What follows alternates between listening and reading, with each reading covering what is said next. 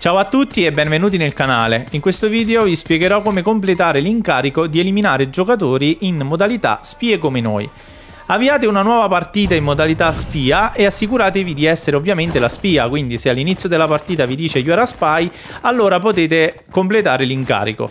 Tutto quello che dovete fare è eliminare dei giocatori, quindi vi avvicinate, una volta che avete la possibilità naturalmente di eliminarli, ucciderli, e li fate secchi, quindi vi avvicinate e premete il dorsale per sparare.